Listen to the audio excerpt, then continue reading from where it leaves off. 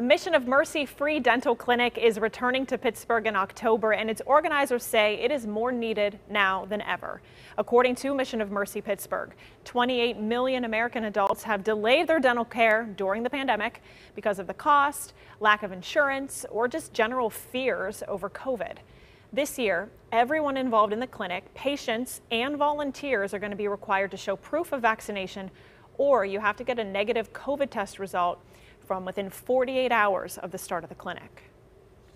Uh, we have time right now to get all both vaccine shots in, and that's why we're holding this press conference right now to make sure everyone knows now is the time to get that vaccine and get that process started because that will guarantee you access to the mission of mercy. There will be a special walk-in vaccine clinic for Mission of Mercy patients and volunteers. All of those details are on the Mission of Mercy's website, and you can find a link to that at kdka.com slash links. You also can get a free vaccine right now at most Rite Aid or Giant Eagle Pharmacy locations.